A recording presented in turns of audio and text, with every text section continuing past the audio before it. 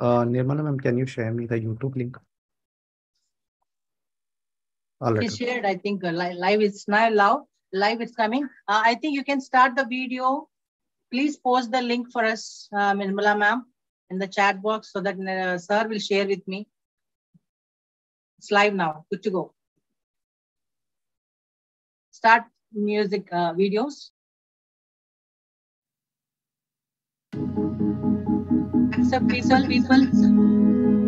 I am home. I give you comfort. I shelter your family. See me for who I am. Home, sweet home. I am your refuge. I am the floor that supports you, the foundation that keeps you steady, the walls that give you shelter, the roof that protects you. I am your home. If you don't take care of me,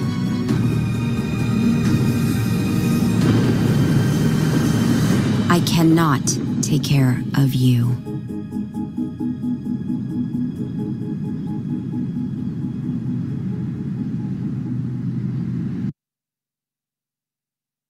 Recording in progress.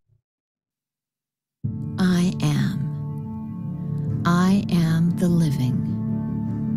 I am the animal that runs next to you from your first step on this planet. I am part of a complex and sublime ecosystem. I belong to the earth, the forests, the oceans, and the sky. I am beautiful and mysterious.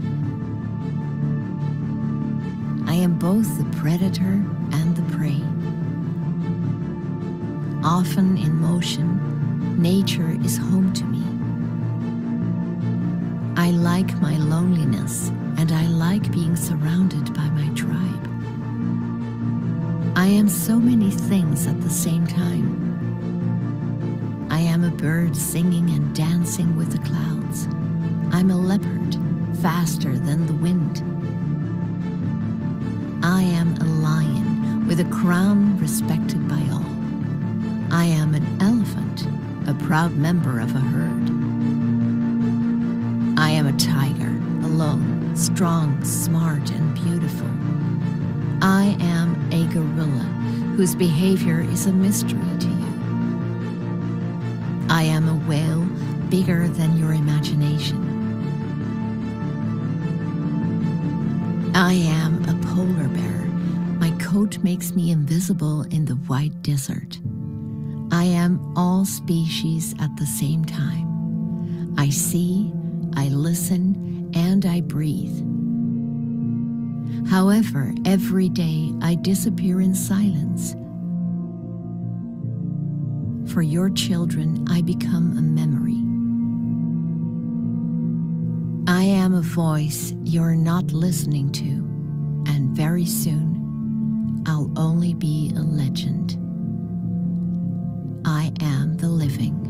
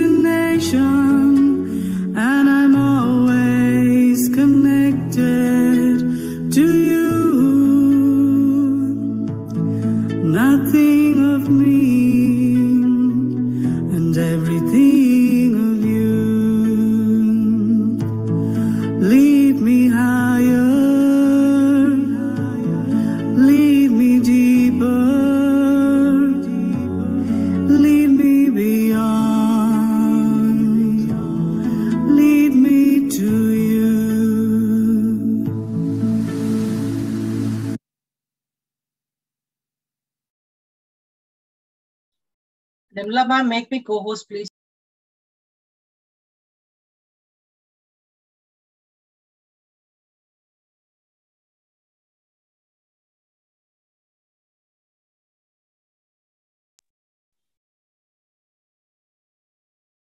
You are the co-host.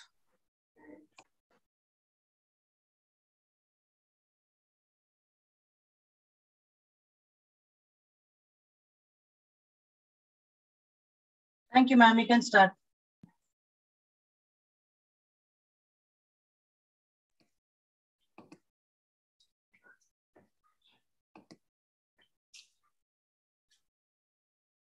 Are we starting now? Because we have seven more minutes. No, no, you can start. All almost all people are logging. Okay. Hang on. Or shall we play one more time? Sure, no problem. One more song, please. Uh, video. Harika.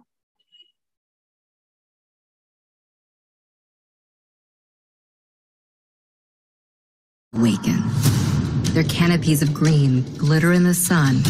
Their wildlife start to slither, chirp, and growl. And one of the planet's richest ecosystems comes to life.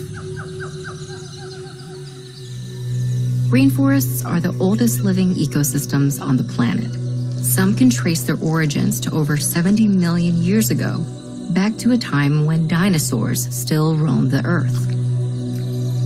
While the giant reptiles have disappeared, rainforests continue to thrive, growing on every continent except Antarctica.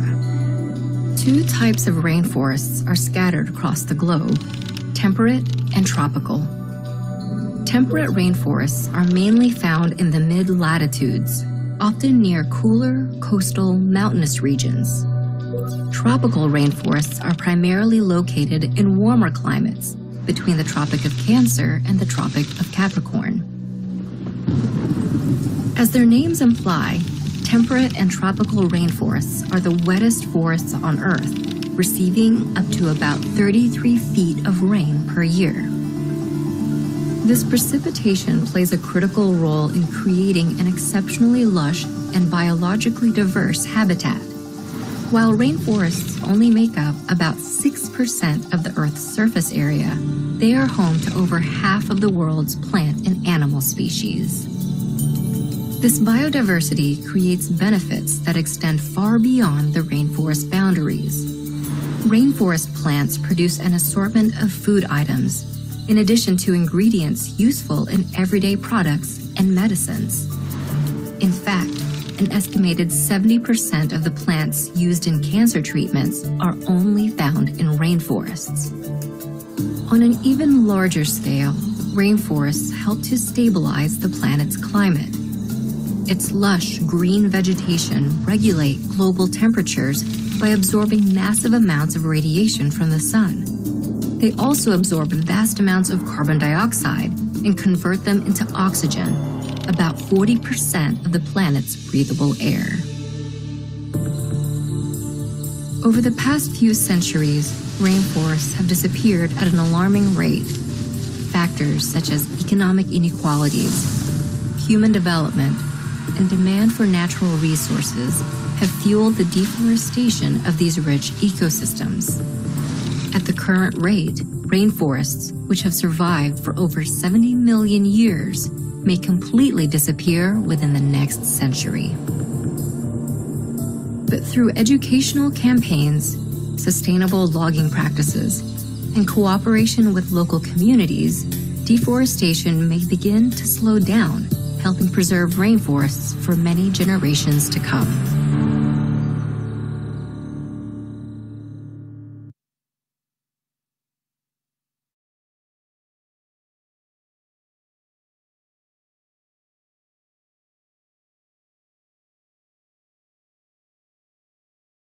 Nula ma'am. One touch of nature. All right, uh, Erica, can you play the PPT?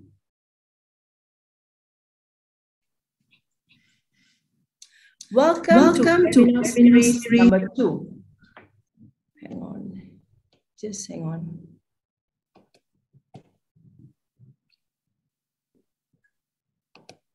Welcome webinar series number two, Protect the Wildlife by Dr. Wong Te from Malaysia. He is the Papa Bear of Malaysia from Borneo Conservation Center.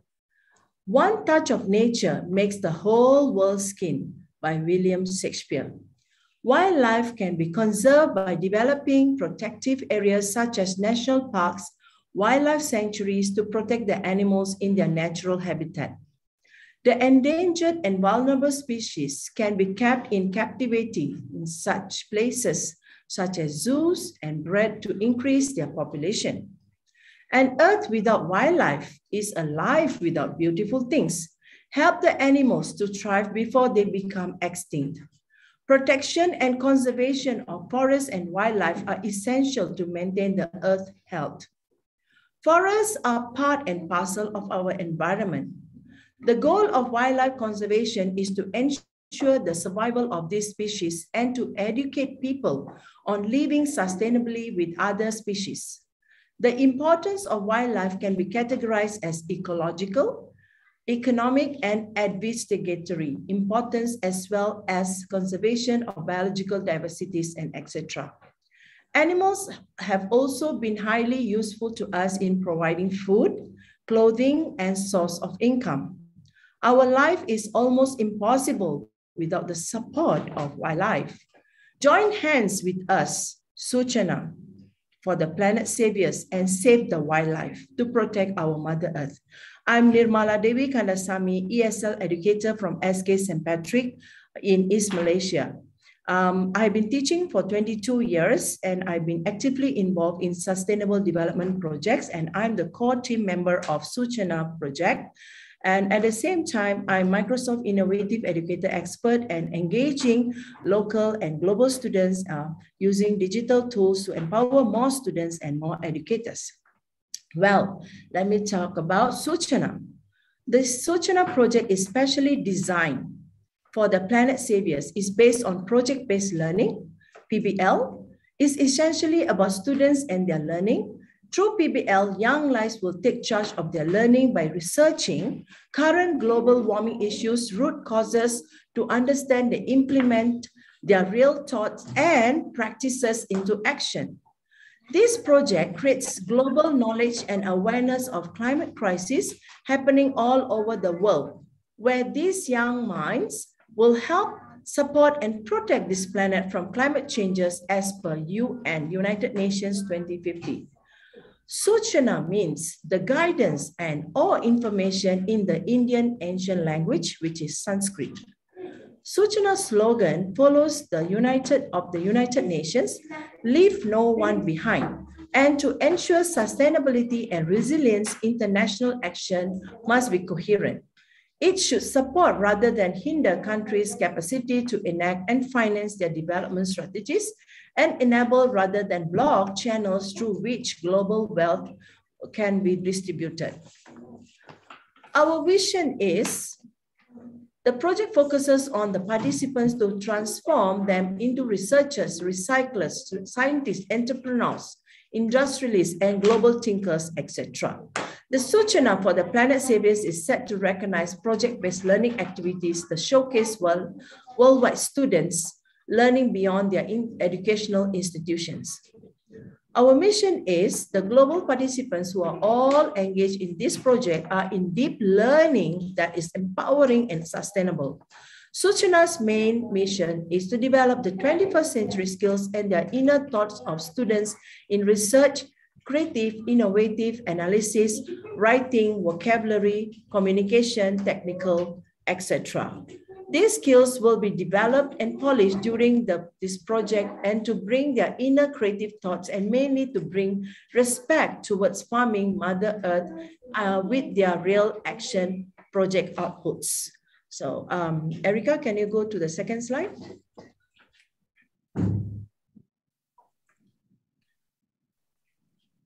You can go to the second slide, Erica. Okay, Suchana for the Planet Saviors is, these are our collaborators.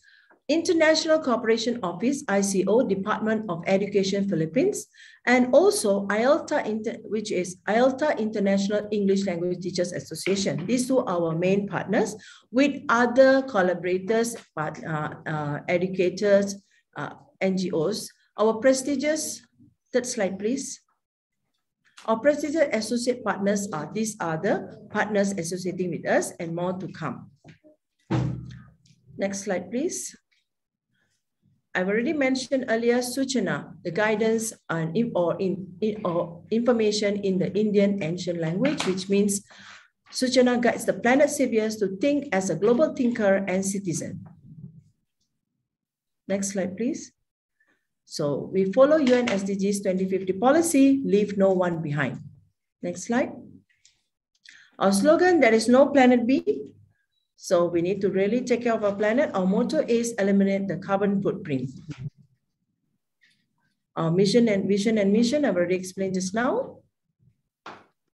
Uh, we are actually working on adaptation to climate change and carbon footprint issues, activities based upon the waste management, plastic biodiversity, climate action, carbon footprint, etc., uh, with all these goals.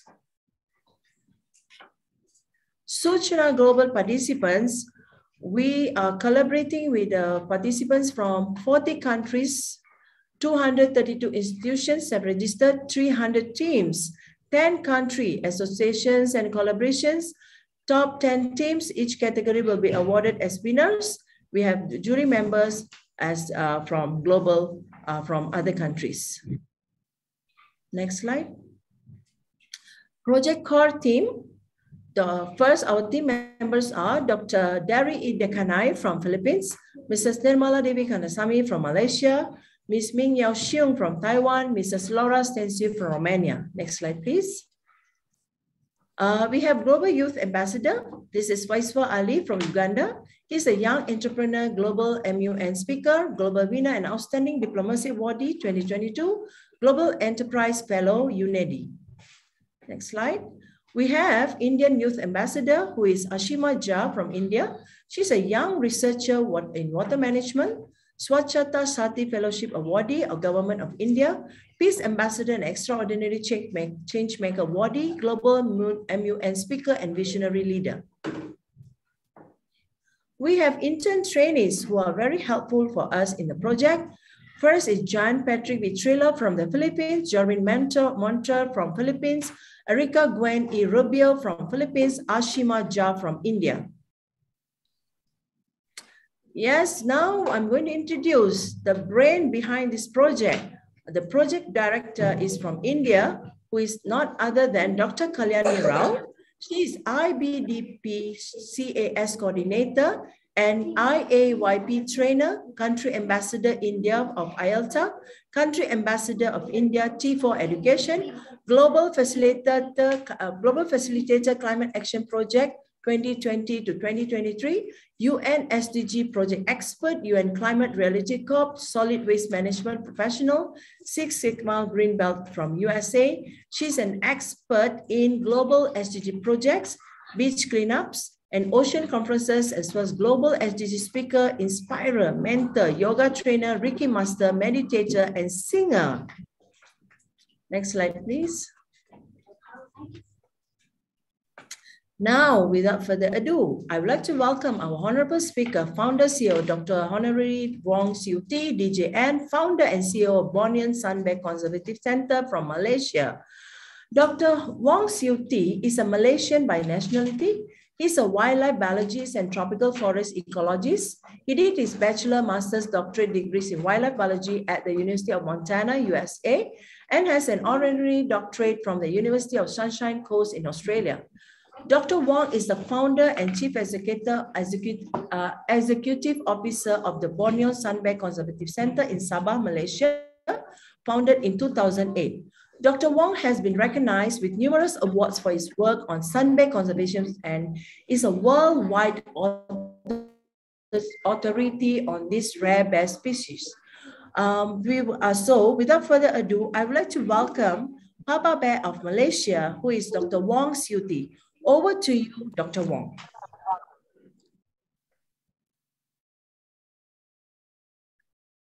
Dr. Wong. Where is he?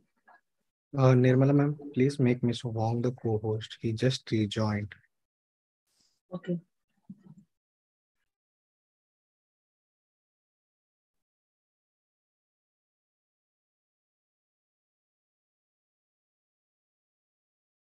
Okay, hello, can you hear me? Yeah, sorry for the little hiccup. Yes, we can hear you, yeah, doctor. thank you so much. Thank you so much for uh, inviting me to be this program. Uh, all of the teachers, it was great to join this Suchana program. And uh, and today I'm going to spend another the, the next 40 minutes to tell you more about the sun bear. Well, first of all, beside me is the picture of a sun bear, which is the smallest bear in the world. And uh, later you'll see a bears up close and personal. I'm going to talk more about it. But some one thing that's very special about the sun bears is that all of them are black color. All of them have a chest patch, you know, on the chest patch, which is very unique and very special. And later when we have the bears right in front of us, I can uh, tell you more about the bears. And of course, you know, uh, right now I'm at the Buddhist Conservation Center and we have uh, 44 rescue sun bear at our center right now. And I'm going to show you from uh, places to places where we have this signboards to tell you more about the stories about the sun bears. And next, I'm right at the uh, map showing the distributions map of the sun bear. This is where sun bears are found. They are found across Southeast Asia, ranging from eastern tip of India, eastern tip of Bangladesh, Myanmar, Thailand, Cambodia, Laos, Vietnam, Peninsula of Malaysia, Sumatra, and Borneo. The red area is the extinct zone. Bears used to be there, but no longer there because of deforestation, because of hunting and poaching. And then orange is the one that we know for sure there are bears. Yellow is the area where the forest is still there, but there's no study. Uh, all in all, sun bears is an endangered species their numbers are very low. Uh, we, although we do not have uh, uh, estimations of how low are low, and um, uh, but one thing for sure is that their numbers is much lower than the orangutan. The only place where they have uh, estimations of sun bears number is in West Malaysia, stating that there's only 300 to 500 100 sun bear left. And uh, right now, I am at the uh, our observation platform overlook at the entire rainforest. And this is the forest where we keep our rescued bear. Oh, there are two bears over here, actually down here. And later, hopefully we can, you see this tiny little black object, those are the two rescue sun bear. I think it's Joe and uh, Logan, okay? Okay, so a little quick tour. All of our forests are really tall forest. This is all trees, giant trees, about 50 meters tall. And then, uh, and then I started this sun bear center back in 2008 in order to conserve sun bear through holistic approach that incorporates improved animal welfare, education, research, rehabilitations, ecotourism, community conservations. Uh, we also do some anti-poaching work. We also do uh, plan to do uh, captive breeding in the futures. Uh, all in all, anything that it takes for us to conserve the sun bear, we want to do them all. And then uh, the Bear Center is collaborate with the Sabah Wildlife Department, Sabah Forestry Department, and an NGO called LEAP and myself as a wildlife biologist. Uh, set up the center in 2008. And then currently there are 44 sun bear rescue sun bears at our center. And right now I am walking on this aerial walkway towards the second platform where I'm going to feed the bears and all the bears will come uh, close so that we can see them up close and personal. How's that? Okay, I am, yeah, trying to walk very fast and then at the same time uh, talking to you and then uh, we have the bears already waiting. Okay, so ready to see some sun bears? Just bear with me. Okay, okay.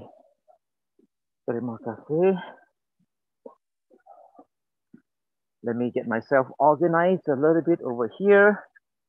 uh, you can uh, pin my video, my pin my uh, uh, screen so that it appears to be big on your screen so that you have a better uh, viewing experience. Hello, you see me? I'm surrounding by surrounded by bears right now, sun bears, which is the smallest among the smallest bear in the world. Okay, so among smallest among the smallest bear in the world, and I'm gonna feed them with a bunch of. This is their third feeding. Consists of honeydew, consists of pumpkin, but I'm gonna give them pumpkin first. Okay, so come here, boy.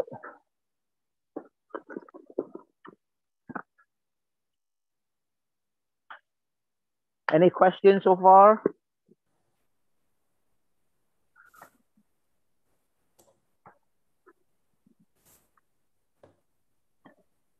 Can everybody still hear me okay? Okay. Yes, we can see So- everything clearly, doctor. Okay, good. So right now we have a bear standing up. So this is a typical sun bear looks like. They are black in color. They have really short ear. They got really short fur. And then they stand up just like human. They can be bipedal. You see how well he's uh, standing up with his two legs, holding the pumpkin with his hand and yummy, chewing just like that. And then all of them uh, and you see you see his chest patch yeah? And the chest patch is like a warning sign whenever uh, he found something strange in the forest he would stand up and then sniff the airs and then at the same time presented the chest patch. So immediately the presence of the sun bears being uh, being noticed by the other parties and then another things about sun bears is that they are, have such a small ear you know they have such a small ear. And then live, living in the in this rainforest we have a lot of rain. And for information we just have a pouring rain like uh 10 20 minutes uh, uh, 10 to 20 minutes ago. I was saying like oh we are going to have a pouring rain uh, which will make this uh, uh virtual tour a challenge. But luckily the rain stopped right now but when after the rain stop, the forest is always very wet. And then um yeah and and and, and for for the sun bear having a small ear actually there's a good advantage because the ear did not gone into their ear canal. Yeah so yeah. And then sun bear is also known as uh they got many names. The chinese call the sun bear dog bear. Okay because they well they are small they bark like a dog as well so they're called dog bear and then uh, the local Malay words for the sun bears is beruang madu or the honey bears. Uh, why they are called honey bears? Because they really love to eat honey. All right. So not only Winnie the Pooh loves to eat honey, the sun bear really loves to eat honey too. And this is Fulong. This is a 11 years old male bears. And when he stand up, he is uh, about 1.2 meters tall. Uh, you can see, come here, Fulong, my boy. You stand up. Yeah i raised fulong up so uh, yeah come here. Go closer. Yeah so he is like you know 1.5 me- meters tall. Um yeah.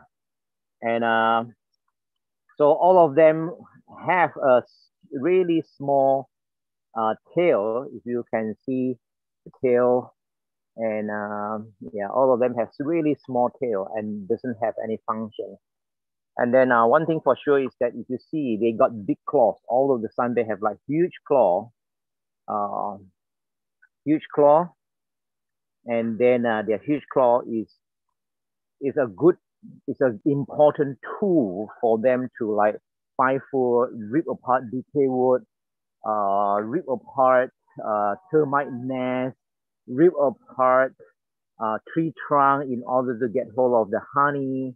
And one group of honey that they like to get in this forest uh, is this uh, stingless bee. Yeah, stingless bee build their hive inside the hollow tree trunk of a hardwood tree. And when a sun bear found the stingless uh, beehive, they would climb the tree and then use their really, really strong claws to help them climb the tree and use their very strong teeth to uh, to chew the tree trunk. Yeah. Mmm, yummy, yummy. Makes me very, very, uh, very hungry as well. Yeah, and then uh, and as as you can see, all of them have like really, really short fur. You know, there are eight different species of bears in the wild, and uh, and and there are two different subspecies of uh, sun bears. And just now I show you the map of sun bear distribution across Southeast Asia. Uh, on Asia mainland, together with uh, Sumatra, uh, the sun bears found there are what we known as Malayan sun bear. It's a Malayan subspecies. They are double the size of the Bornean subspecies. So if you go to Thailand, if you go to West Malaysia, if you go to Cambodia, and you see a sun bear in the zoos or in the rescue center or in the wild, if you're really lucky, their bears is double the size from our bears. Yeah. Yeah, their bears is double the size from our bears. So they are very, very um uh yeah, different uh, in that sense in the sense of size. Okay. So all of them have, uh, you see, they have like really, really small eyes. And actually, in when they live in this forest, the eyesight is not a very good tool for them to like find food and so on. They seriously and they strongly dependent on their sense of smell. Right now, Pulong standing up, trying to sniff the air and trying to see where's my food, where's my food. I want my honeydew. I don't want my uh, pumpkin. Yeah, because honeydew is a lot sweeter than the pumpkin. That's what they are. They are prefer. Yes, it's their uh, preferred uh, food. Yeah. Okay. If there is uh, questions, uh, can the host uh, teacher can you help me read out the questions? Because uh, I only use my handphone to do this. Okay. Yes, we have two questions, Dr. Wong. The first yes. question is uh, directly sent to me. The first question is, are sun bears vegetarian? The second question oh. is, how long is their lifespan? Okay, good. Let me answer the first question. Are sun bear vegetarian? The answer is no. They are omnivores, okay? In the forest, they feed on a wide variety of fruits. Yeah, and, and oh, somebody is pouring. They feed on a wide variety of fruits. And when fruits is available, then they feed, you know, they just scorch themselves yeah. with fruits. Fruits is the food items that they can fill up their body. However, when fruits is not available, then they will feed on a wide variety of invertebrates like termites, ants, beetles, beetle larvae, earthworms, centipedes, millipedes, uh, you name it, anything that moves is their food. And then uh, they also eat meat. However, they are not uh, good predators that can bring down a deer or pigs or macaque and so on. But they do, but they do, uh, but they do, uh, yeah. Uh, but they do eat meat if they come across, uh, uh, say for example, uh, uh, uh, tortoises. They would, you know, eat the tortoise and then uh, and then and then eat the meat. Yeah. Okay. Question, other Dr. side Wong, of the bears. Will they attack yes. people? Will they okay, so I have, people? Okay, so this is I have not answered the, the second question yet. Okay. Okay. Okay, so and then uh, the second question is how long can they live for? So in the forest, come here, boy. Yeah, in the forest, if they can live for like 13, 12, 13, 14 years, that is considered as long. Okay. Oh, okay, okay, okay. So they cannot wait already. All right, all right. Okay, okay, okay. This is Joe. I need to feed them quick. Yeah. And Logan over there. So if they can live for like 13, 14 years, that is considered as long. And then in captivity, the oldest bear that we know of, she lived for 37 years. And at our center, the oldest bear that we that that lived at our center, uh, he lived for 29 years old, and he's still he's still uh, strong, you know. And uh, that means that if the living condition is good, they can live a long time. They can live a long time. Yeah. Okay, so uh, third questions? How, um, third question was just now. Um, hang on, yeah, Dr. Uh, Dr. Wong. Uh, do they attack people? Oh, do they attack people? Okay, so this yes. is a good question. what do you think? you know, being the smallest bear species in the world, being the smallest bear species in the world, in the forest, when they come across humans, they would run for their life because humans are a lot more scarier and dangerous than the bears to us. So the bears would not eat humans because they are the smallest bear species in the world. And then uh, only we eat them big time. We eat them big time. Okay, so they don't attack people. Yeah, and then uh, for those bears that live in the forest, every time when they sense human presence, they would run away quickly. For those bears that cannot run away from people, they will end up dead. Why? What kind of people in the forest? It is the hunters, it is the poachers. So we are a lot more uh, dangerous than them to us. So don't worry when you are in the sun bear country. Don't worry to uh, encounter with the bears. If you encounter with a bear, if you see a bear, you'll be very very lucky to be able to do so. However, if you are in North America, if you are in a, if you are in a grizzly bear country, then you have to be very very careful because uh, those bears uh, can potentially eat a human unfortunately not the sun bear. So that's that's that's also why uh, I survive until now after spending so many years in the forest because the sun bear don't eat me. Yeah. That's great. Okay. Thank you for the explanation, Papa Bear. Mm. Okay. Mm. Uh, what do they eat mainly, Dr. Wong? Uh, there's another Okay. question. Do they eat fruits, honey? Yeah, yeah. So, so I mentioned earlier, they are omnivore. They eat a wide variety of fruit, and then in the forest, and then when the forest have fruits, they will eat the fruits. If the forest, if they cannot find fruits in the forest, they will feed on a wide variety of invertebrates. Yeah, this is Romolina. Ah, okay, okay. They'll feed on a wide variety of invertebrates, um, like ants, termites, beetle, beetle larvae. They also love to eat honey. You know, they, that's why they're called honey bears. Yeah and then uh, and then uh, they don't eat they eat meat but they are not a good predators yeah they are not a good predator. yeah Oh, Okay, Dr. Wong, there's another question. The questions are pouring in. Another question is, um, how, um, okay, what are the main threats uh, faced by sun bears? okay so this is a very good question sun bears uh, just like other wildlife in our forest they are what we call as forest dependent species you know their presence their existence their survival all depend heavily on forest the amount of forest, I mean, forest is their habitat, is their home, and the amount of forest reflects on the amount of habitat that they have. So over the years, over the last 50, 60 years across Southeast Asia, our forests in here have experienced a vast deforestation. People lock the forest for timber, people lock the forest, clear the forest for plantations, for developments, for agricultures, and then uh, and and all of them all of them have caused direct threats uh, to the sun bears and then after logging come into this area people moving in and then uh, people start to like do hunting and poaching. And and hunting and poaching is the second uh, threat after after after deforestation and then uh, sometimes when poachers are in the forest they come across a female sun bear with cubs or they would kill the mother and then take the cubs as pets.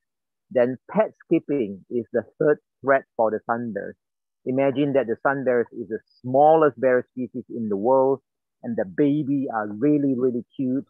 And because of their cuteness, people want to keep them as pets, and because people are sometimes people are stupid. They are so naive. They thought that ah, as long as they can bottle fed a baby sun bear, the baby sun bear will turn into a chihuahua sorry, which is not going to happen because sun bears will still remain as a sun bear because they are wildlife. Their wildness will still retain. They are dangerous animals, you know, with these big claws and big teeth. Uh, they will not make a good pet, period. Yeah. So, so, so, yeah, at our center, all of our bears uh, are all have same uh, uh, uh, faith, which is they are all orphan. Their mom has been brutally killed by poachers, and then uh, and then and then they are kept as illegal pets. You know, so we are orphanage for all of uh, the rescue sun bear uh, at our center. So far, there has been 66 sun bears uh, being rescued and sent to us. And then our sun bears own, and yeah, so at the centers, we also do rehabilitation. So for those bears that can be released back into the wild, we are giving them a second chance to be able to live in the wild. Okay, so far we have been released uh, 11 bears back into the forest and then uh, more to come. And then for those bears that cannot be released back into the forest, uh, we are we are keeping them for the rest of their life. So in other words, our center also serves as a as a as a old folks homes for these rescue sun bears. Yeah.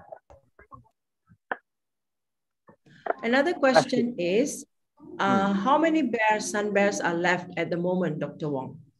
Okay, so the answer is we do not know. The only place where there is an official numbers of sun bears uh, being announced is West Malaysia, stating that there's only like 300 to 500 sun bear left is uh, in entire West Malaysia. So 300 to 500 sun bear is not a, is, is not a lot at all. And then in Borneo, we don't know, you know, the actual numbers. But one thing for sure, they are much rarer than the orangutan. Orangutan is a critically endangered species. So for an animal that is more, that is rarer than the critical endangered species, then they are really, really endangered and really, really rare. This is Romalina. Romalina, you see, she have a smiley face test patch. Yeah, Yeah, another question is that uh, very interesting, important question that is, um, how can they adopt the sun bears? That's one of the questions we ask. Good. Well, I'm glad that you asked that. You know, anybody can adopt our sun bears by visiting our website at www.bsbcc.org.my. Again, I repeat, maybe teacher can help me type it out. Is uh, www.bsbcc.org org.my. And then uh, on the website, you can uh, click the Bear Adoption page. And then uh, from there, you can do our online adoption program. We have two different online uh, uh, adoption program. One is called My Bear, where several people uh, collectively adopt a bear that costs you 300 ringgit a year. Or we have another program called My Bear Program, where one individual or one company or one organization exclusively adopt a sun bear all by themselves that cost them uh, 7,200 ringgit a year to adopt a bear. So you can choose the bears that you want to adopt from our website. And then, uh, so of course, you know, we want, because our center is open to the public and after this pandemic, our center is open to the public, the the government, uh, the the national, the, the country border has been open to the tourists and uh, yeah if you have the chance to come and visit us please do come and visit us yeah another question is how fast they can run. Oh how fast they can run? They can obviously they can run much faster than you and me and your friends uh, in the forest. Um, yeah so I um, there's no study of how fast or how many seconds they can run a hundred meters, uh, but definitely they can be run in the forest faster than you and me because we are not adapted to run or to walk in this forest, but they are. Yeah, they can run very very quick. So don't challenge them. and in the forest, if you get into trouble, if you're chased by a bear, uh, well, I don't know. as long as you run faster than your uh, than your friends, then you'll then you'll be safe.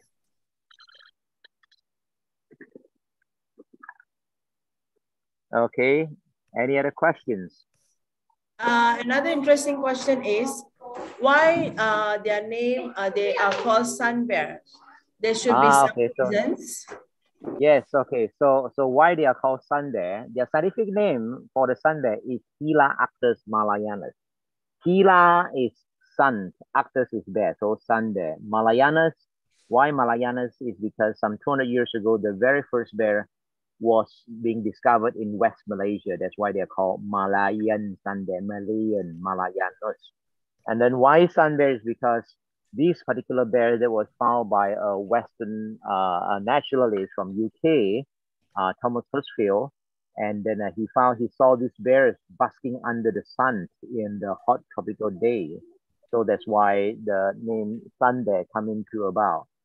And then uh, another saying of these bears, of this bear, why they are called sun bears, is because is because uh, is because their chest patch. If you notice their chest patch, every bear have a chest patch, right? And then some of the chest patch come into all different kind of shapes, including the shapes of a solar eclipse. Solar eclipse look like a sun. And then uh, Asiatic black bear is also known as moon bear because their their their their their chest patch is always a crescent shaped chest patch, looks like a moon. So if there's a moon, there must be a sun. So that's why sun there. And again, their scientific name is Helarctos. Hyla is sun, arctos is bear, Malayanus is Malaya. Yeah, that's why. Mmm, yummy, yummy, yummy. You see, this is Romalina uh, chewing his uh, her, uh, her her her uh, pumpkin. One more question, Dr. Wong. Uh, in which country the sun bears population is small? Uh, in which country the sun bear population is small? Yes. All countries, the sun bear population is more is small. You know, they are ranging again from eastern tip of India, eastern tip of Bangladesh, Myanmar, southern China, Thailand, Cambodia, Laos, Vietnam, uh, uh, uh, Peninsula of Malaysia, Sumatra, and Borneo. All of this area have very few sun bear. Sun bear used to be there, but many of them are no longer there. And then the surviving population is actually quite small as well. Yeah, we don't have the actual numbers to show how many are there, but small enough, small enough. Very cute. All right. Yeah, so yeah, so she's uh, relaxing. Hi.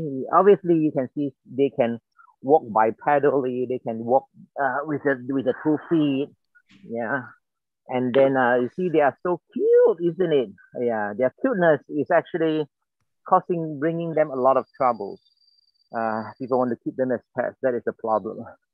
Uh, but it's, it's, not their fault, all right? It's not their fault. It's just humans you know and then of course you know just now mentioning about the threats about deforestation about hunting and poaching about pet keeping all caused by people. For me when i study wildlife i said oh i don't want to talk to people. I don't want to deal with people. I want to i love animals. I want to work with uh, wild, wild animals only. However when i work with conservation when i work with sun bears i need to deal with a lot of human issue. And all of the problems that the sun bear face or the threats that the sun bear face are all caused by humans. So we are really, really bad.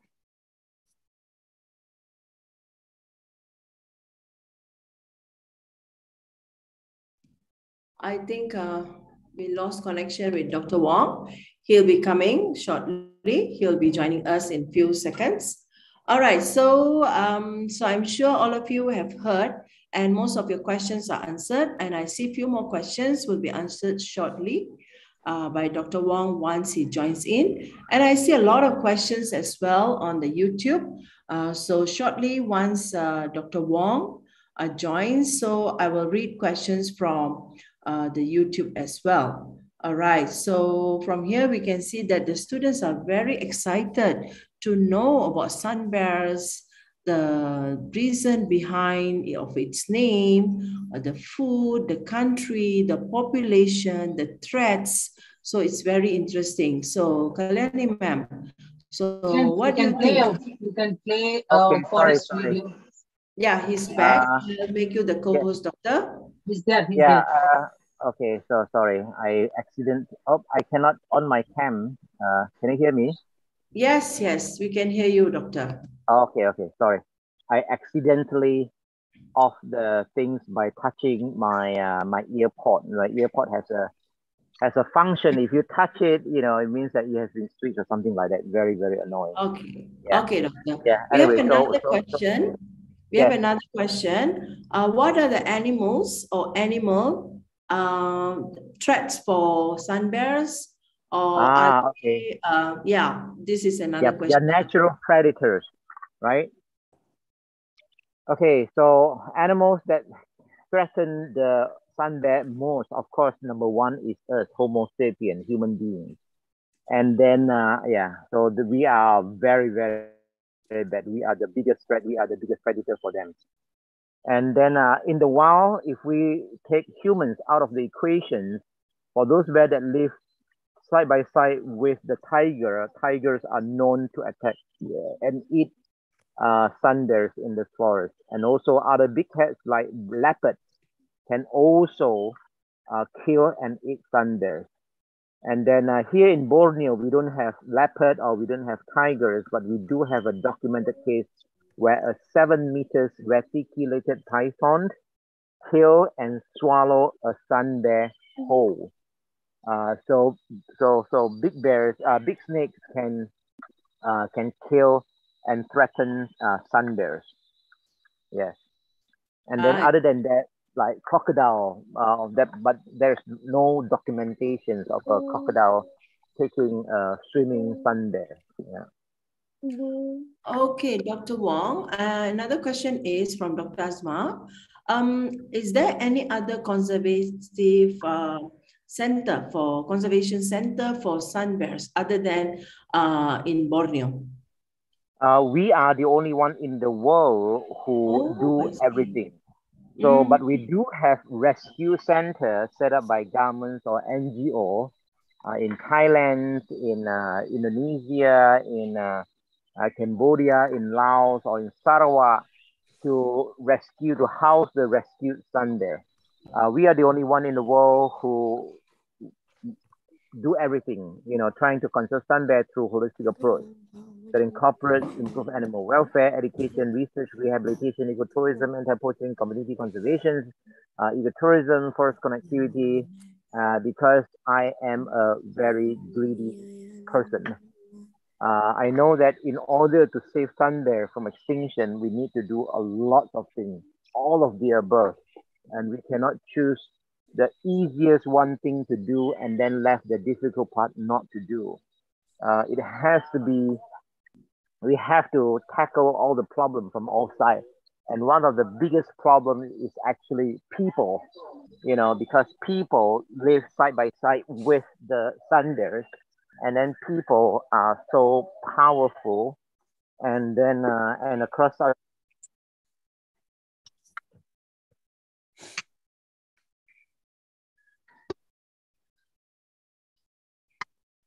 We can't hear you, Dr. Wong.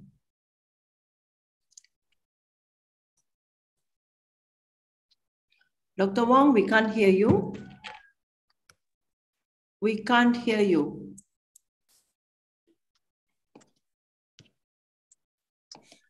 Dr. Wong, I think uh, you need to turn on the microphone. We can't hear you. hello. Yes, now we can Hello? hear you. Yes, we can hear you now.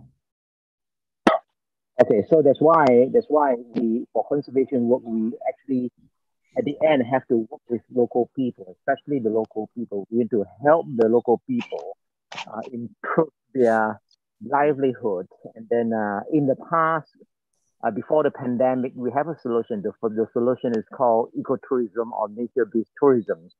Uh, but the pandemic kills this industry. And so right now, after uh, the, the pandemic situation is under control, uh, country's door is open, um, traveling is start to ease up. Uh, right now, we are actually restarting the whole industry, and hopefully, we are not facing any more pandemics. And hopefully, the tourists come here. Uh, the tourist money can help the bears, uh, can help conservation projects as well as the local people. Because when tourists come here, you know, everybody got a job. People can have a job as a driver, as a boatman, as a cook, as a tour guide, and all and all are extremely important to help the local community so that they have a livelihood, so that they can put food on table, so that they know that the wildlife is a very important resources that they need to protect because it helps their livelihood. And then also, you know, the governments also will see that uh, the forest that's still spending worth money the wildlife that's still running wild was money. So so so tourism is extremely extremely important. I think. Yeah. Yeah. One more question is: Can they be trained to do tricks like other animals? Uh, please don't, because sun bear is still a wildlife. Uh, we train our bears not to do tricks, but to help management, say, for example, open their mouth in order for us to control us, in order to check their teeth. Uh, we train them to like present their hands so that we can, you know, draw blood, uh, to do uh, checking and, and, and that kind of thing.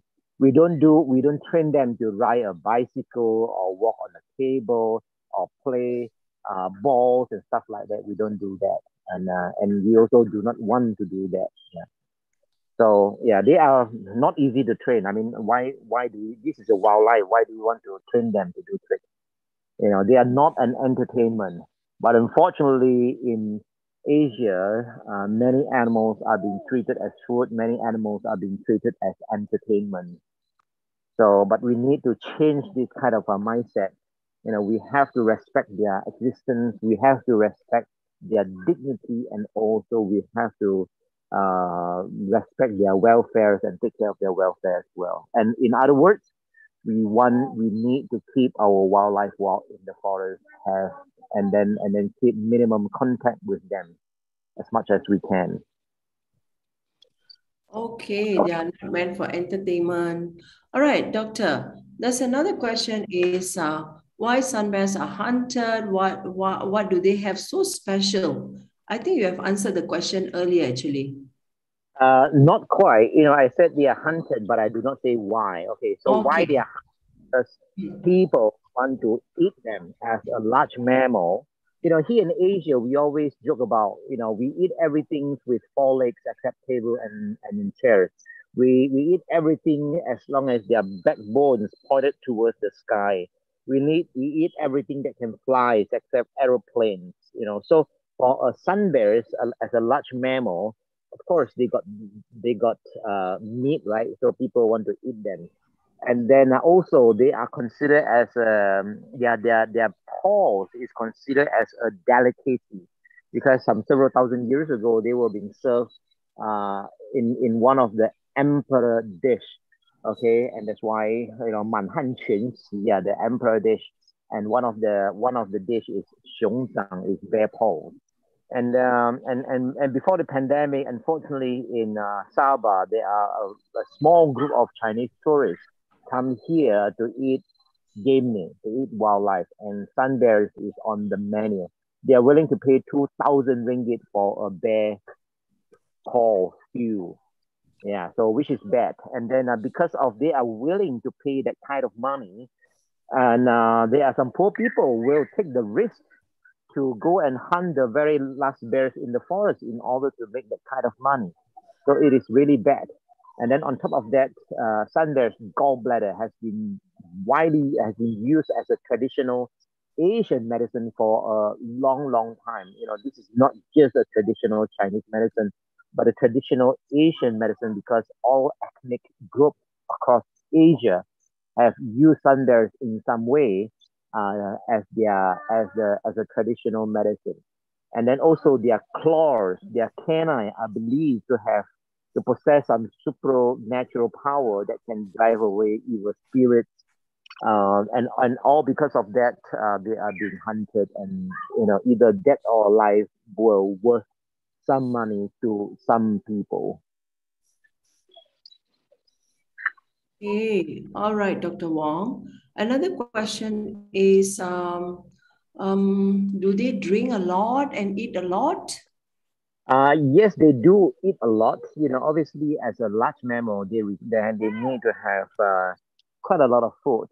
And then at our center, we feed our bears with about 10% of their total body weight. So bears that weigh 40 kilograms. Our rule of thumb is we feed them with four kilograms of food each day. Yeah, and then uh, whether or not they drink a lot, you know, because they live in this uh, tropical rainforest, uh, it's, always wet. There's always rain, so so it doesn't really matter in terms of uh, uh, source of water. However, during the drought day, during the days when they are very hot, and I'm sure they do a lot of panting, and then when they are panting, uh, they actually lost a lot of water uh, from their body, then therefore they need a lot of water to uh, to to to to replenish their thirst. Uh, yeah. So just like us, just like us, they are they are mammal. You know, whatever their physiology is very similar to us, and uh, and they drink, they they they drink, they they have to eat. Yeah. Okay, thank you, Dr. Wong. Is there's another question? Do they eat one kind of meat or any kinds of meat? Any kind of meat, any kind of meat that is available to them. They are not a good predators. They won't be able to hunt, hunt down a deer or pigs or a macaque. Uh, but if there's a carcass, you know, they would love to eat it. And then in the past, when I trap bears in the forest, uh, the bait that I use to trap bears is actually consists of chicken guts, chicken entrails, uh, chicken entrails, put it in a wire mesh basket. And then after the chicken guts live in this basket for several days in the trap, and it become juicy, creamy, uh, cheesy, and maggoty, and of course very smelly. And that's how the bears love it. So again, juicy, creamy, cheesy, maggoty, and smelly. That's how the bears love it. Uh, love their chicken guts. Yeah. Okay. I see another questions.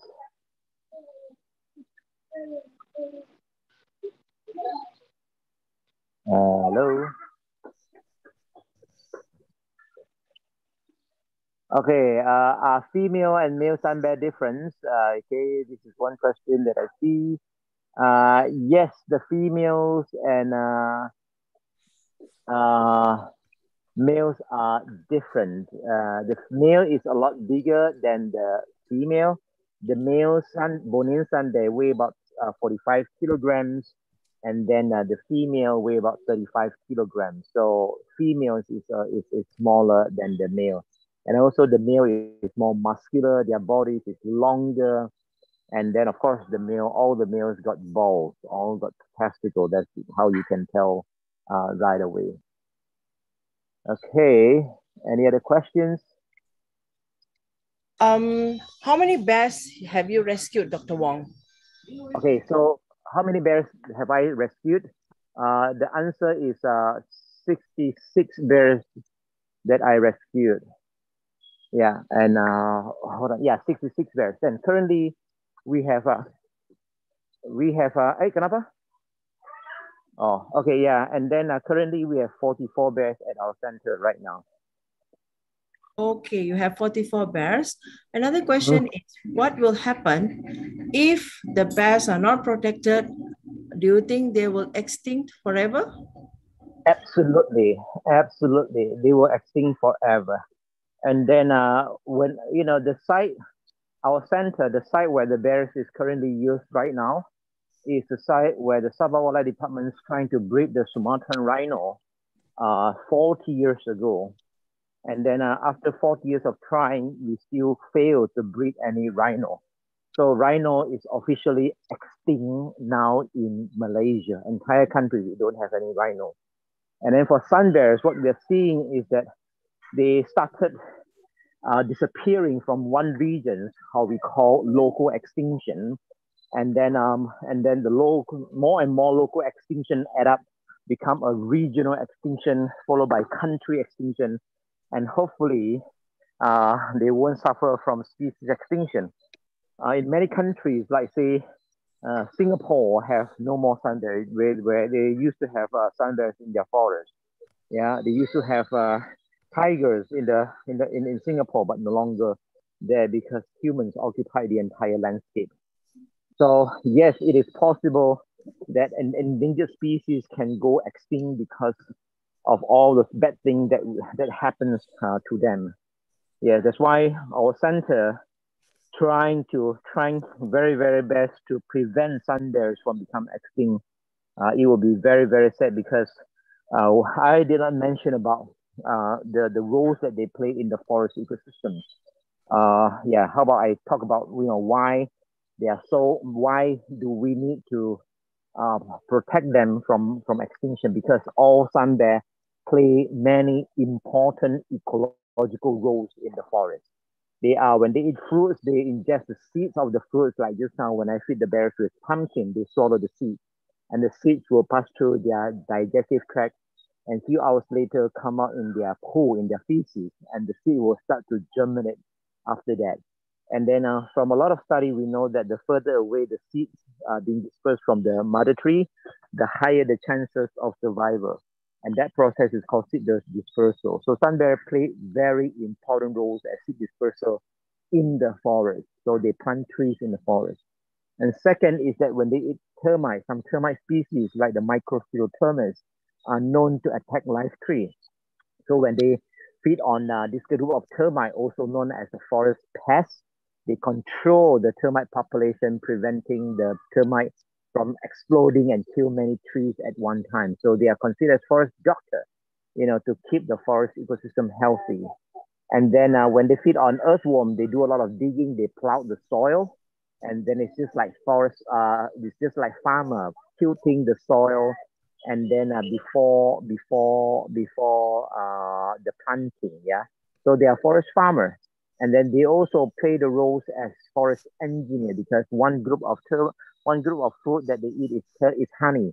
And honey, one group of honey that they feed on is the stingless bee. Stingless bee build their hive uh, in the hollow tree trunk and the sun they climb up to the tree, use their very strong canine and claws to rip apart the tree trunk and dig a big hole and get hold of the honey and eat, eat the honey.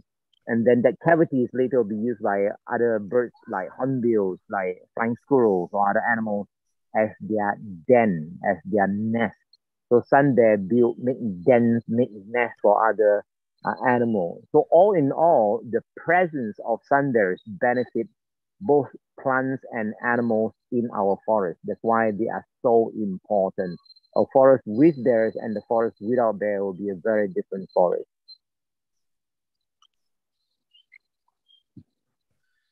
Thank you so much, Dr. Wong, for this wonderful trip. Uh, you have any final words before we wrap up, Dr. Wong? Uh, yes, I do. So I always tell people do what you do best to help us. As a teacher, I think what you all can do, or as a scholar, as a student, what you the first thing that you need to do to save our wildlife sunbear included is to understand them. So to help us spread the word, educate the younger generations about the importance of the sunbear so that they all so that we all they all can growing up knowing the importance of sunbears and other wildlife and our forests so that we can you know help protecting them from extinction help protecting them from disappearing from our country uh, from our from our planet and then uh, the second message i want to say is that you know feel free uh, to uh, to check out our social media. We have YouTube channel. We have our Instagram. I have my Instagram. Uh, we have our we have our uh, uh, uh, uh, website or Facebook. Uh, do follow us. Do you know subscribe to our YouTube channel. Do go and check out our YouTube channel. Yeah, it's a web website to learn more about the sunbears. And then from there, you can also like say, for example, adopt our bears. Yeah, help us adopt our bears. The money that you pay will help us keep our uh, bears healthy and also run our program. And then uh, and, and and everything else. Everything that we do over here needs a lot of money. So if you can donate to us it will be great. Uh, if you don't have money help us spread the word. Also a great thing to do. So thank you very much for having me today and uh, and, and let me and, and allow me to share my experience and story with the bears thank you Thank you so much, Papa Bear from Malaysia, for explaining so well and giving us this wonderful trip in the forest. Though you are a busy person, Dr. Wong, but uh, you know the students and educators, we have almost uh, 80 over students and educators joining in in, you, in our Zoom session today, and uh, almost 30 participants are watching live. And uh, definitely this uh, tour uh, knowing in detail about the forest engineer sun bears are very important in order to conserve the nature and uh, to make sure that they are protected. So this is the only one uh, conservation center which is available around the globe. As you say, we are looking forward for educators, students, and parents joining in today in order to adopt the sun bears. So Dr. Wong, you have given the link for them to view and uh, adopt the sun bears at the same time. In Suchana shortly, uh, Dr. Kalyani will say something about it so that we can connect with you uh, in order to help out uh, for protecting more sun bears. Thank you so much, Dr. Wong, who is famously known as Papa Bear from Malaysia. Uh, without further ado, I'm going to go to the next agenda. Hang on a minute, Dr. Wong. Yeah, thank you. Welcome.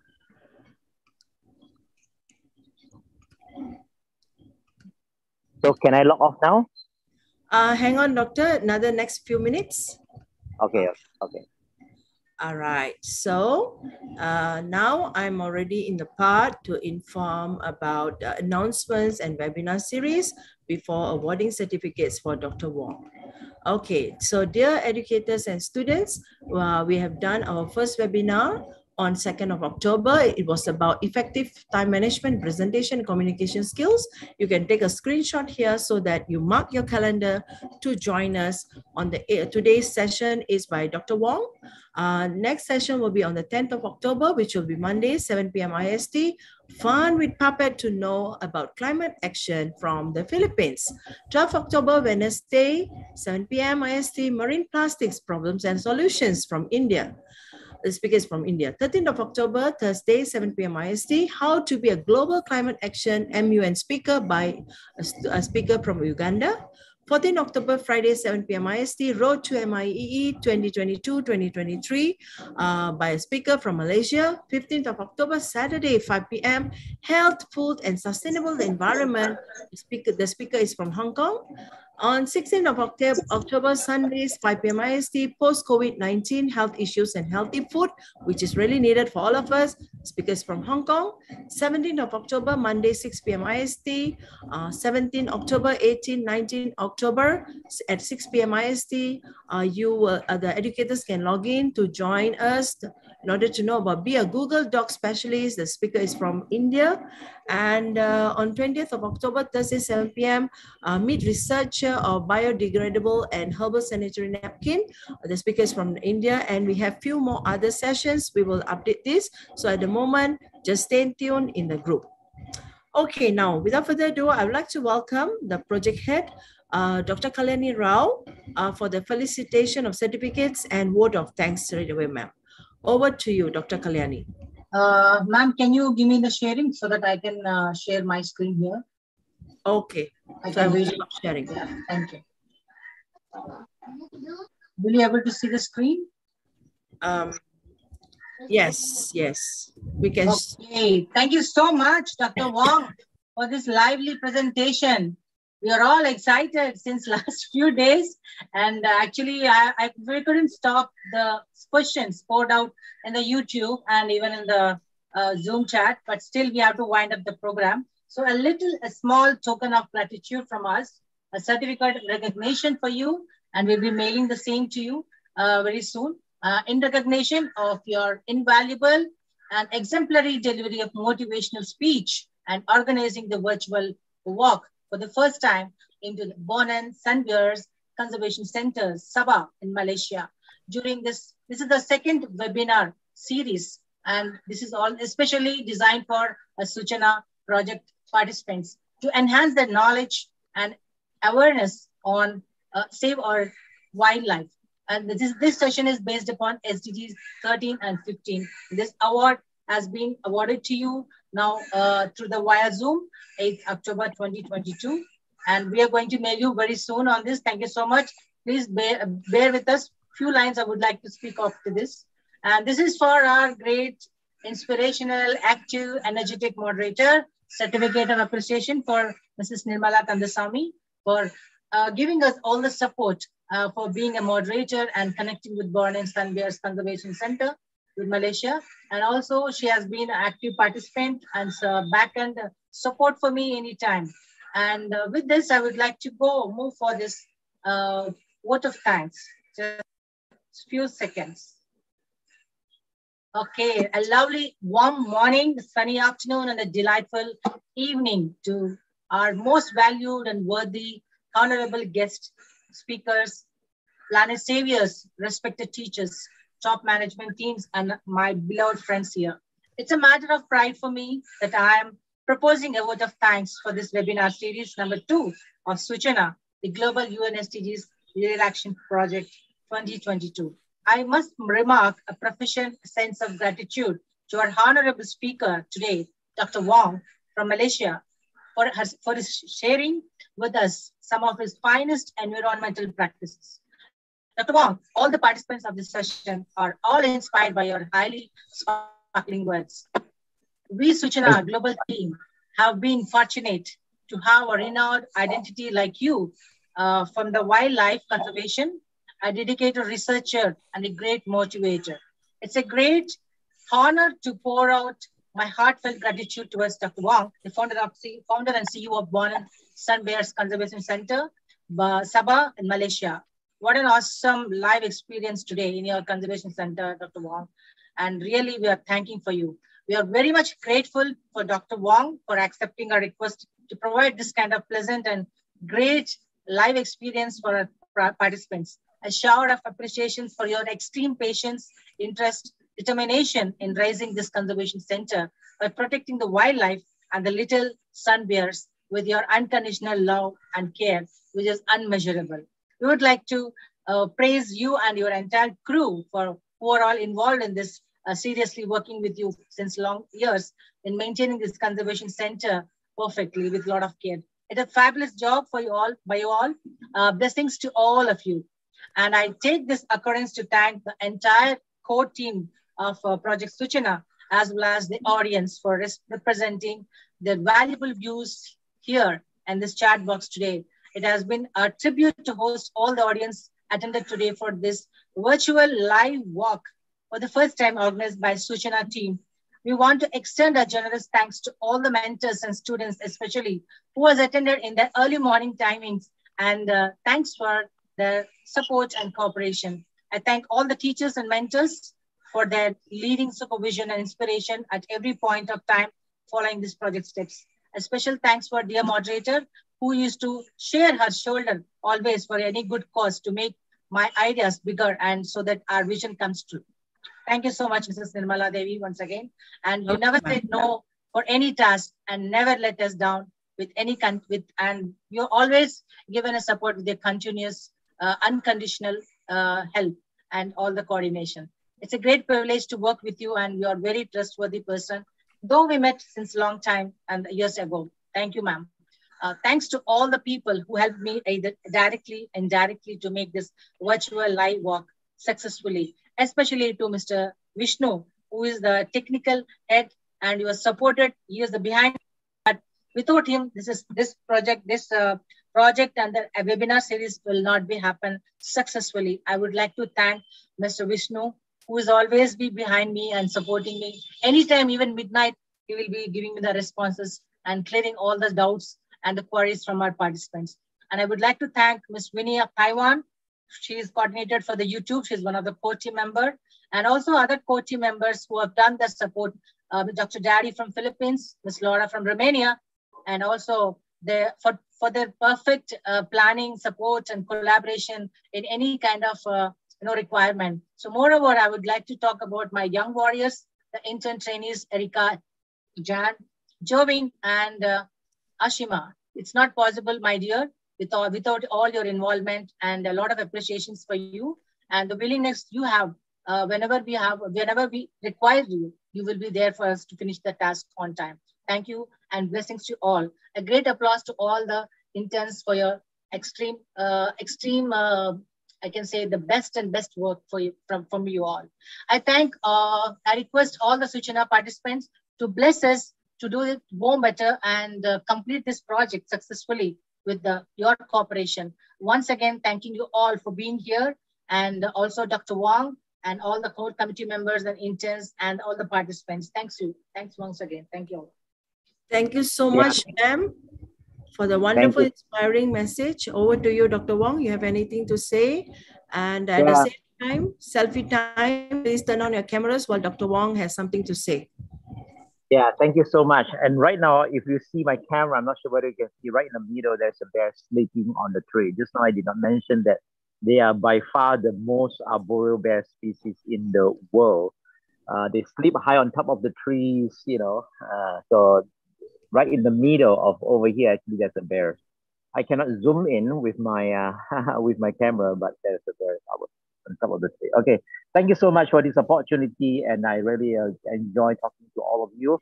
And I really hope that one day all of you can come and visit us in Sabah uh, and see the bears with your own eye and smell the forest with your own nose and hear the song of the forest with your own ears. Yeah, thank you so much. Thank you. Thank you so much, Dr. Wong, again. And uh, hopefully, um, you know, I'm just staying five hours away from Dr. Wong's uh, Sun Bear Conservation Center. So hopefully during one of these holidays, I'll be able to meet Dr. Wong and the bears as well. As well.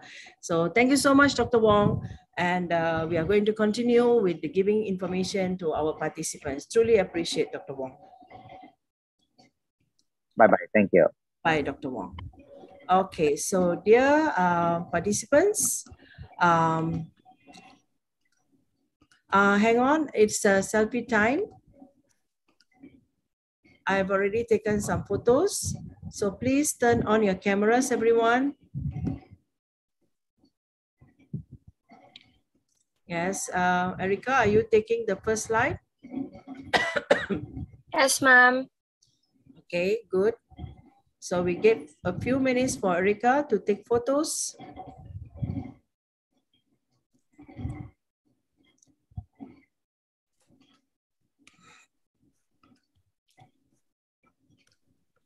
We'll now go to the second slide, ma'am. All right. Keep smiling, everyone.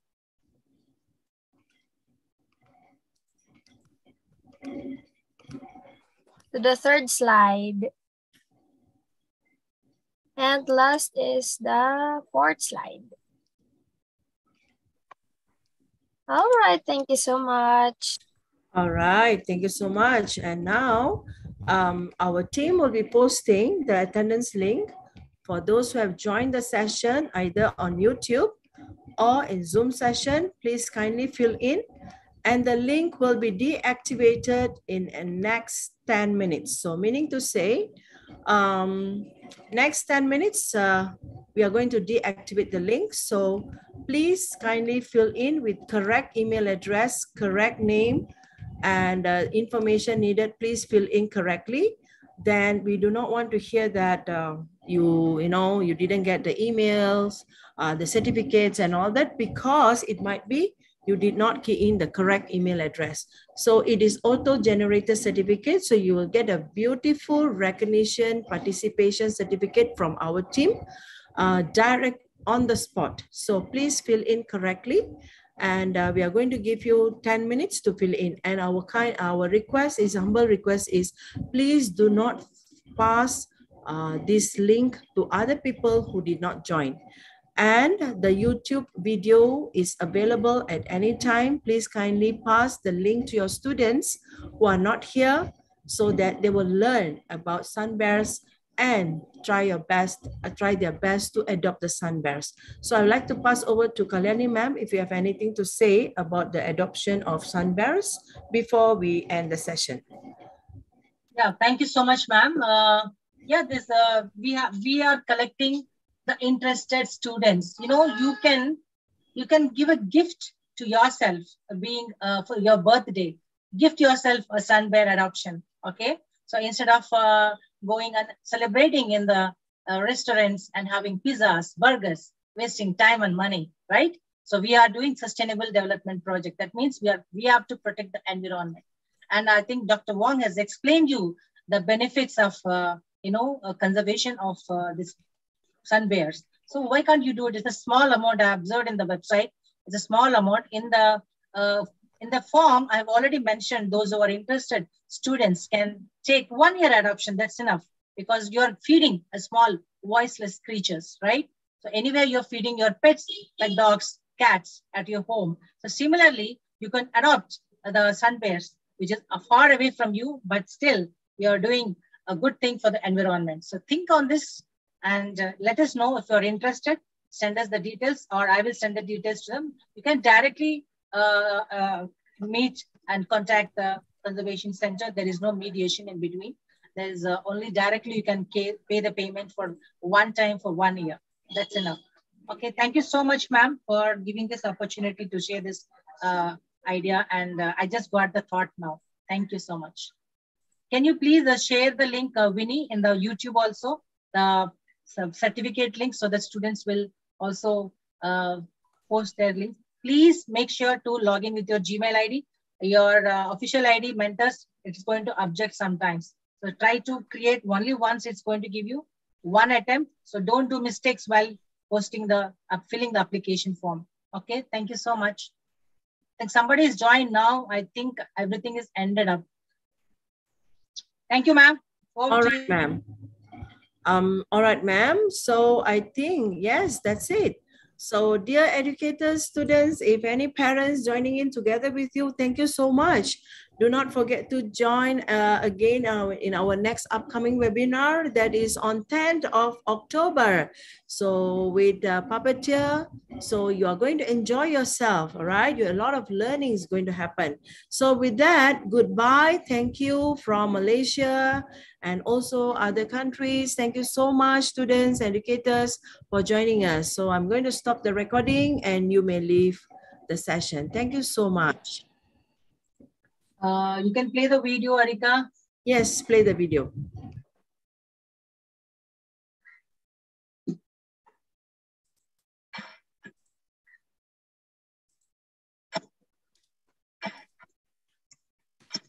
I think Winnie, you posted there in the YouTube, right? The yes, certificate yes, link. Link. Thank you, thank you. Shrouded in a blanket of clouds, they awaken. Their canopies of green glitter in the sun. Their wildlife start to slither, chirp, and growl. And one of the planet's richest ecosystems comes to life. Rainforests are the oldest living ecosystems on the planet. Some can trace their origins to over 70 million years ago, back to a time when dinosaurs still roamed the Earth. While the giant reptiles have disappeared, rainforests continue to thrive, growing on every continent except Antarctica.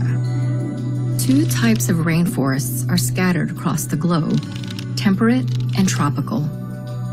Temperate rainforests are mainly found in the mid latitudes, often near cooler, coastal, mountainous regions. Tropical rainforests are primarily located in warmer climates between the Tropic of Cancer and the Tropic of Capricorn. As their names imply, temperate and tropical rainforests are the wettest forests on Earth, receiving up to about 33 feet of rain per year. This precipitation plays a critical role in creating an exceptionally lush and biologically diverse habitat.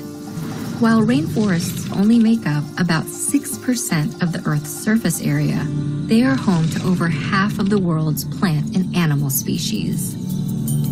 This biodiversity creates benefits that extend far beyond the rainforest boundaries.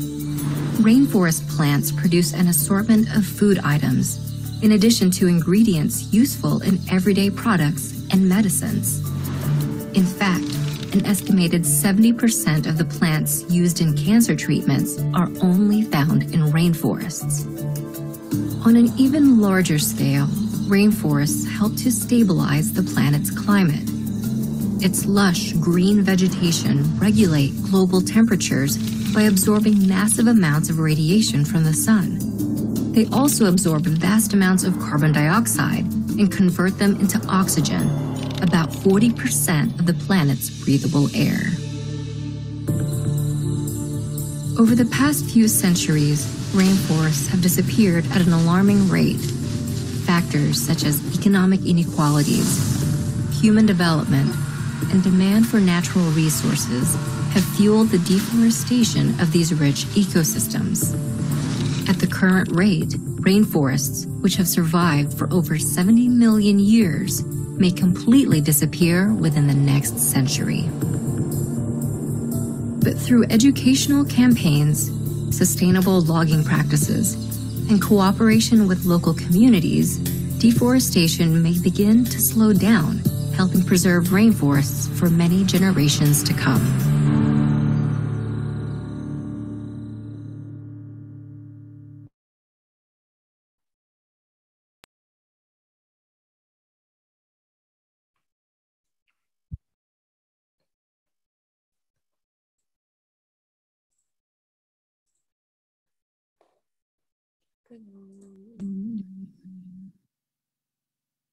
I am the living. I am the animal that runs next to you from your first step on this planet. I am part of a complex and sublime ecosystem. I belong to the earth, the forests, the oceans, and the sky. Beautiful and mysterious.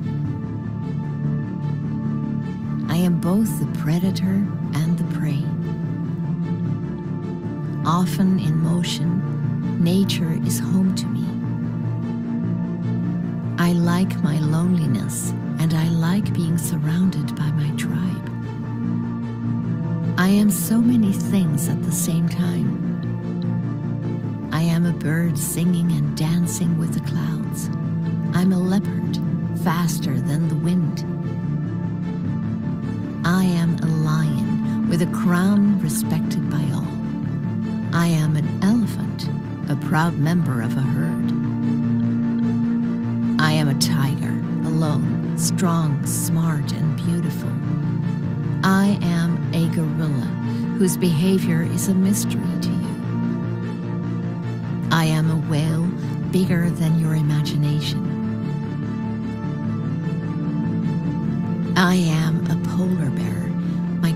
Makes me invisible in the white desert.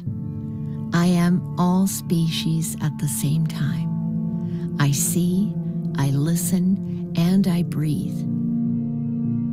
However, every day I disappear in silence. For your children, I become a memory. I am a voice you're not listening to, and very soon I'll only be a legend. I am the living.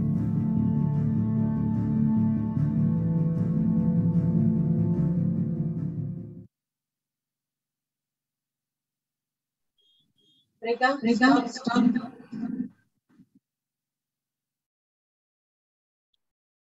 I request everyone to leave the floor